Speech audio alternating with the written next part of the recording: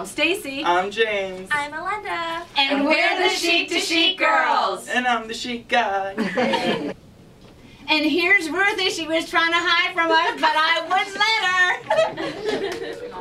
her. okay, we're here today for a very special event. It is uh, is your treasure chest, is your jewelry box a treasure chest? And we are here with, first of all, one of our guests. I'm Jackie. And I'm Marlene. and Marlene happens to be my mom, and we are also here with. Steve Gouterman from Paradigm Experts. So we were having a little show today. We're doing a little live filming, a live show, and a little bit of filming. And Steve, tell us about why you're here.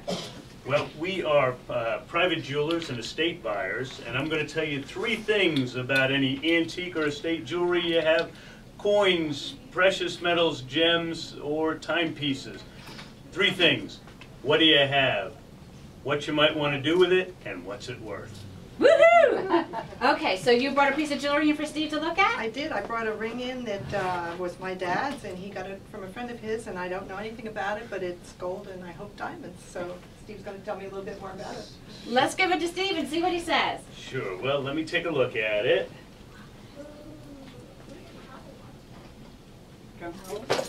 Drum roll, please.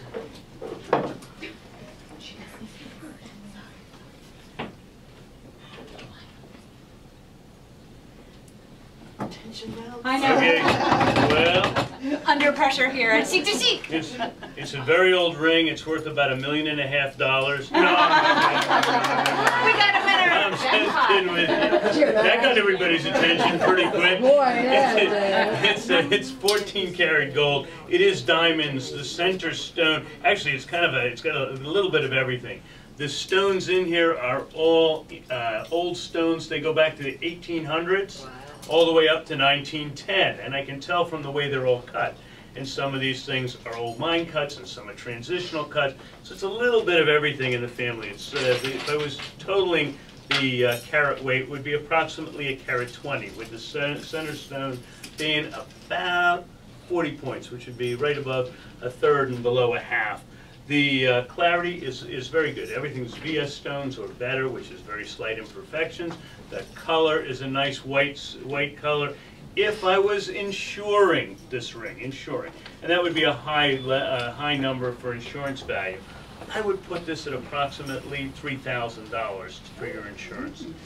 And if you were trying to sell it, I'd figure you'd get about half of that.